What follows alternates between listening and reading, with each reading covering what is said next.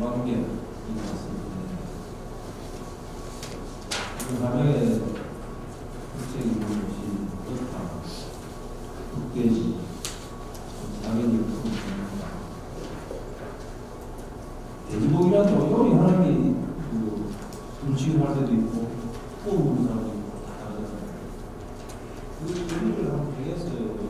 그때 아니 어떤 쌀전도 간 그의 무슨 그 근대상 천하 근대상 온 부분을 하고 매입을 해서 그러면 저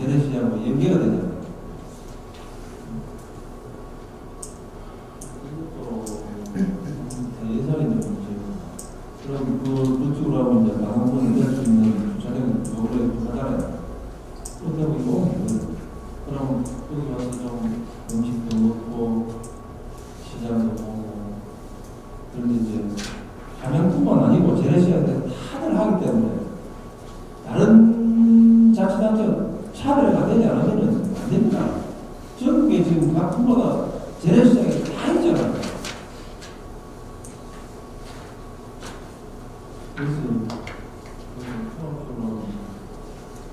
지금 뭐 재래시장 활성화 활성화 해가지고 뭐 하는 게 없잖아요. 지금 하는 게 없잖아요. 지금 국회에서도 가서 이야기 들어보면 국회의원 하는데 한강에 못 던져 요. 전국의 재래시장이 엄청신 예산을 많이 들어갔습니다. 국가적인 차원에서.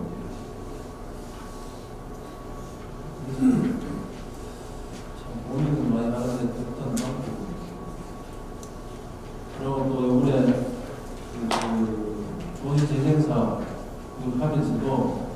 그그